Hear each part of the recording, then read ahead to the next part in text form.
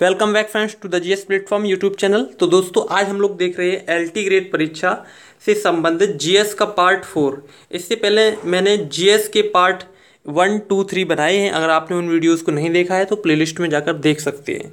और अगर आप हमारे चैनल पर नए हैं तो प्लीज़ इस चैनल को इस तरह से सब्सक्राइब कर लीजिए तथा साथ ही साथ पास वाले बेल आइकन को भी प्रेस कर दीजिए, जिससे कि आपको नई वीडियो का नोटिफिकेशन मिलता रहे। तो चलिए देखते हैं, इस वीडियो में कौन से क्वेश्चन है। तो जैसा कि यहाँ पर आपको लिखा, दिखा हुआ है एल ग्रेड अनवार पेपर आप जानते ही हैं कि एल ग्रेड में तीस अंक की जीएस बिल्कुल अनिवार्य है चाहे आपने वैकल्पिक विषय कोई भी रखा हो। तो चलिए देख लेते हैं इस वीडियो में। जैसा कि आप लोग जानते ही हैं कि पिछले तीन वीडियो में मैंने क्या डिस्कस किया था? मैंने महमूद गजनबी, मोहम्मद गोरी और गुलाम वंश की स्थापना के समय कुतुबुद्दीन ऐबक और इल्तुतमिश को डिस्कस कर लिया था। और आज की वीडियो में हम लोग बात करने वाले हैं इल्तुतमिश के बाद के जो शासक हैं उनके बारे में। तो अब आपको मैं बताना चाहूँगा, इल्तुतमिश ने अपने जीवन काल में ही अपनी पुत्री रजिया सुल्तान को उत्तराधिकारी घोषित कर दिया था। तो वही आपका ये पहला प्रश्न है, इल्तुतमिश ने अपना उत्तराधिकारी किसे घोषित किया था? तो दोस्तों, इसका आंसर है रजिया सुल्तान को इल्तुतमिश ने अपना उत्तराधिकारी अपने जीवन काल में ही घोषित कर दिया था, क्योंकि वो एक योग्य शासिका थी इसकी वजह से। नेक्स्ट क्वेश्चन है, रजिया सुल्तान ने कब से कब तक शासन किया? तो रजिया सुल्तान का जो शासन काल है, सन 1236 से 40 तक माना जाता है, और इनका कार्यकाल बहुत ही छोटा है, बहुत ही कम समय तक रजिया सुल्तान ने दिल्ली सल्तनत पर राज्य किया था। रजिया सुल्तान एकमात्र ऐसी शासिका थी जो कि महिला थी दिल्ली सल्तनत काल में। और आगे देखते हैं क्वेश्चंस मध्यकाल में किस रंग के वस्त्र पहनकर न्याय मांगा जाता था? तो दोस्तों, जब रजिया सुल्तान शासक बनी तो दिल्ली के जो अमीर थे, दिल्ली के जो प्रमुख व्यक्ति थे, उनको ये बात पसंद नहीं आई कि महिला को दिल्ली की सल्तनत की बागडोर दी गई है। तो इसकी वजह से वे रजिया के खिलाफ विद्रोह करने लगे और रजिया को अपने पद से हटाने की कोशिश करने लगे। तो इसके बाद जब रजिया को ऐसा अवसर आया कि उसको पद से हटा दिया गया तो रजिया सुल्तान ने दिल्ली की जनता से लाल रंग के वस्त्र पहनकर लाल रंग के वस्त्र पहनकर दिल्ली की जनता से एक न्याय का गुहार मांगी थी कि हमको शासन प्रदान किया जाए। तो इसी कॉन्टेक्स्ट में एक क्वेश्चन है, मध्यकाल में किस रंग के वस्त्र पहनकर न्याय मांगा जाता था? तो लाल रंग। तो रजिया ने भी लाल रंग के वस्त्र पहनकर दिल्ली की जनता से एक न्याय की गुहार की थी कि हमको भी शासन प्रदान किया जाए।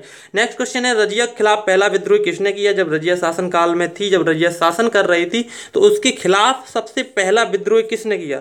तो दोस्तों, है लाहौर के गवर्नर कबीर खां, यानी कि रजिया की सल्तनत काल में ही लाहौर के गवर्नर थे कबीर खां। तो कबीर खां ने सबसे पहले रजिया के खिलाफ विद्रोह किया और आगे देखते हैं क्वेश्चन रजिया के खिलाफ काफ़ी गवर्नरों ने विद्रोह किया, उनमें प्रमुख और हैं। रजिया के खिलाफ दूसरा विद्रोह किसने किया? यानी कि रजिया के खिलाफ जो सबसे प्रमुख विद्रोह है और दूसरा विद्रोह वो किसने किया? तो दोस्तों इसका आंसर है भटिंडा के गवर्नर अल्तूनिया। भटिंडा के गवर्नर अल्तुनिया भटिंडा तत्कालीन पंजाब के क्षेत्र का एक हिस्सा है। तो भटिंडा के गवर्नर जो अल्तुनिया थे, उन्होंने सबसे प्रमुख विद्रोह किया था रजिया के विरुद्ध। आगे देखते हैं क्वेश्चन रजिया की शादी किससे हुई थी? तो अल्तुनिया ने ही कुछ शर्तों के साथ रजिया से शादी कर ली थी। तो दोस्तों, इसका आंसर हो गया रजिया की शादी किससे हुई? अल्तुनिया से। तो दोस्तों, ये जो क्वेश्चन है, एक सीरीज़ के अकॉर्डिंग मैं आपको, आपके लिए बना रहा रहा हूँ, कोई ऐसे क्वेश्चन नहीं है कि बिल्कुल असंगत हो। यहाँ पर दोस्तों, जो भी क्वेश्चन आपके लिए हैं, वो बहुत ही सीरीज़ वाइज हैं और आप, अगर आप इन सभी क्वेश्चन को एक क्रम से पढ़ लेंगे तो आपके सभी प्रश्न सॉल्व हो जाएँगे। इसीलिए मैंने एक सिलेबस वाइज ये सभी क्वेश्चन बनाए हैं। नेक्स्ट क्वेश्चन देखिए, रजिया सुल्तान के बाद दिल्ली का शासक कौन बना? तो दोस्तों, रजिया रजिया सुल्तान के बाद दिल्ली का शासक बहराम शाह बना। नेक्स्ट क्वेश्चन है, नायाब ए मामलिकात का गठन किसने किया? नायाब ए मामलिकात का गठन किसने किया? तो बहराम शाह ने ही नायाब ए मामलिकात का गठन किया था। और दोस्तों, मैं आपको बताना चाहूँगा, बहराम शाह के बाद कौन गुलाम वंश का शासक बना? तो बहराम शाह एक अयोग्य शासक था, लेकिन फिर भी उसने काफ़ी दिनों तक शासन किया। इसके बाद मुगल वंश का अगला शासक नासरुद्दीन महमूद बनाया गया। नेक्स्ट देखिए बलवन को उलूग खां। बलवन को उलूग खां की उपाधि किसने प्रदान की? तो दोस्तों, बलवन जो कि दास था, नासरुद्दीन महमूद की ही सेना में तो उसको उलगू उलूग खां की उपाधि नासरुद्दीन महमूद ने ही दी थी। जिसकी बात हम देखिए यहाँ पर कर रहे हैं, नासरुद्दीन महमूद। तो बलवन को ये उपाधि प्रदान की थी। और देखिए क्या हुआ? बलवन ने अपनी लड़की की शादी किसके साथ की? तो उसी सेनापति, जो कि बलवन था। बलवन ने अपने लड़की के साथ ही अपने सुल्तान, यानी कि नासरुद्दीन महमूद के साथ की, तथा उसी नासरुद्दीन महमूद की हत्या किसने की? नासरुद्दीन महमूद, जो शासक था, उसकी हत्या बलबन ने कर दी थी। तो देखिए किस प्रकार से घटनाक्रम सुल्तान ने अपने शादी के काल में ही किया। आगे देखते हैं कुछ क्वेश्चंस को। बलबन का मूल नाम क्या था? जैसा कि आपको पता है, नासरुद्दीन महमूद की हत्या बलबन ने कर दी थी। इसके बाद बलबन स्वयं ही शासक बन बैठा था, दिल्ली सल्तनत का, जो कि एक योग्य शासक था। तो बलबन अब आगे राज्य करेगा जो कि एक प्रमुख शासक है। बलबन का मूल नाम क्या है? बहाउद्दीन। बलबन का मूल नाम बहाउद्दीन हो जाएगा। नेक्स्ट है, बलबन किस जाति का तुर्क था? तो बलबन इलवरी जाति का तुर्क था। ये सभी प्रश्न किसी न किसी परीक्षा में बहुत ही अच्छी तरीके से पूछे गए हों और एल ग्रेड में आने की पूरी पूरी संभावना है। नेक्स्ट है राजत्व के सिद्धांत का प्रतिपादन किसने किया? राजत्व के सिद्धांत का प्रतिपादन बलबन ने ही किया। देखिए, राजत्व का सिद्धांत क्या है? इसमें माना जाता है कि राजा जो है, वो ईश्वर का प्रतिनिधि है धरती पर, इसलिए राजा को सभी शक्तियाँ प्राप्त हैं। यानी कि बलवन के अनुसार पृथ्वी पर ईश्वर का नूर या प्रकाश के रूप में राजा का यहाँ पर आगमन होता है। नेक्स्ट है ज़िले इलाई किसे कहा जाता है? ज़िले इलाई किसे कहा जाता है? तो दोस्तों, बलवन को ही ज़िले इलाई उपनाम से पुकारा जाता है। नेक्स्ट क्वेश्चन देखिए। सिजदा तथा पाबोस की प्रथा किसने शुरू की? तो दोस्तों, सिजदा तथा पाबोस की प्रथा बलबन ने शुरू की थी। सिजदा तथा पाबोस की प्रथा क्या है? सिजदा का मतलब है घुटने पर बैल, बैठकर सुल्तान के आगे सिर झुका देना तथा पाबोस की जो प्रथा है, उसका मतलब है सुल्तान के चरणों को चूमना। इन सभी प्रथाओं का उसने अपने दरबार में शुभारंभ किया और इन सभी प्रथाओं से वह अपने दरबार में काफ़ी अनुशासनशील रहता था। नेक्स्ट क्वेश्चन है बलबन ने किस तरह की नीति अपनाई? बलबन ने एक विशेष प्रकार की नीति अपनाई जिसका नाम है रक्त और लौह की नीति।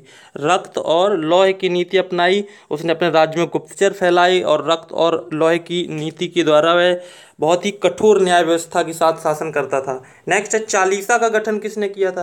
देखो, चालीस तुर्क सरदार जो कि दिल्ली की सल्तनत में काफ़ी महत्वपूर्ण भूमिका निभाते थे, उन चालीसा का गठन गुलाम वंश के दूसरे शासक इल्तुतमिश ने किया था, ठीक है? इल्तुतमिश ने यहाँ पर ये क्वेश्चन दिया गया है और उसी चालीसा का दमन किसने किया? यानी उसको ख़त्म किसने कर दिया? तो बलबन ने किया था, जो कि अभी हम लोग पढ़ रहे हैं। तो चालीसा का गठन किसने किया? इल्तुतमिश ने चालीसा का दमन किसने किया? बलबन ने। ये दोनों प्रश्न आप समझेंगे इस चीज़ को। नेक्स्ट देखिए बलबन ने किस त्यौहार की शुरुआत की थी? बलबन ने कौन से त्यौहार की शुरुआत की? तो देख दोस्तों, बलबन ने नवरोज त्यौहार की शुरुआत की थी। नवरोज त्यौहार ईरानी त्यौहार माना जाता था और इसकी शुरुआत बलबन ने ही की थी। नेक्स्ट है, बलबन की मृत्यु कब हुई? बलबन की देखिए मृत्यु बारह में उसकी 80 वर्ष की आयु में हुई थी। नेक्स्ट क्वेश्चन देखिए, बलबन के बाद कौन सा शासक बना? तो दोस्तों, बलबन के बाद अगला शासक कैकुबाद बनाया गया। कैकुबाद। तो उसने जलालुद्दीन फरूज को अपना सेनापति भी बनाया। बाद में कैकवाद को लकवा मार गया था तथा उसके बाद उसका तीन वर्षीय पुत्र क्या उमर शासक बना। तो यही क्वेश्चन आगे दिया गया है। गुलाम वंश का अंतिम शासक कौन बना? तो दोस्तों, गुलाम वंश का अंतिम शासक कैमर्स बना। क्याउमर्स और नेक्स्ट क्वेश्चन देख लेते हैं कैमर्स की हत्या किसने करके खिलजी वंश की स्थापना की और जिसे खिलजी क्रांति भी कहा जाता है। दिल्ली सल्तनत में खिलजी क्रांति किसे कहते हैं? खिलजी वंश की स्थापना को ही कहते हैं। तो दोस्तों, जैसा कि मैंने आपको बताया था कि कैकुबाद ने अपना सेनापति जलालुद्दीन फिरोज खिलजी को बनाया था तो उसी ने, जलालुद्दीन फिरोज खिलजी ने उसकी हत्या कर दी थी कैमर्स की। तो दोस्तों, इसका आंसर है जलालुद्दीन खिलजी। नेक्स्ट है बलबन ने गढ़मुक्तेश्वर मस्जिद की दीवारों पर लिखी शिलालेखों में स्वयं को क्या कहा? खलीफा का सहायक। खलीफा दोस्तों, इस्लाम धर्म में धर्म का प्रतिनिधि माना जाता था अरब क्षेत्रों में तो वो उसका सहायक अपने आप को मानता था क्योंकि उसने इस्लाम धर्म की प्रचार प्रसार में काफ़ी मदद की। नेक्स्ट देखिए इल्तुतमिश ने अपने पुत्र नासरुद्दीन महमूद का मकबरा कहाँ बनाया? तो दोस्तों, इसका आंसर आपका हो गया दिल्ली। उसने नासरुद्दीन महमूद अपने पुत्र का मकबरा दिल्ली में बनवाया था। नेक्स्ट क्वेश्चन देख लीजिए। मकबरा शैली का जनक किसे कहते हैं? तो इसका आंसर है इल्तुतमिश जैसा कि मैंने आपको बताया कि उसने अपने पुत्र का मकबरा दिल्ली में बनाया था तो वो पहला ऐसा मकबरा था जो कि दिल्ली में बनाया गया या भारत में बनाया गया। इसकी वजह से मकबरा शैली का जनक इल्तुतमिश को कहा जाता है। तो नेक्स्ट क्वेश्चन दोस्तों देखते हैं। इल्तुतमिश में स्वयं का मकबरा किस प्रकार की शैली में बनाया? ये ने पढ़िए। इल्तुतमिश ने। तो इल्तुतमिश ने स्वयं का मकबरा किस प्रकार की शैली में बनाया था? तो स्क्रीच शैली में बनाया था और स्क्रीच शैली में बनाया गया प्रथम मकबरा इल्तुतमिश का ही मकबरा है। नेक्स्ट देखिए इल्तुतमिश ने अतारी कीन का दरवाज़ा कहाँ बनाया था? तो अतारी कीन का दरवाज़ा उसने नागौर, राजस्थान में बनाया था। ये भी प्रश्न पूछे जाएँगे।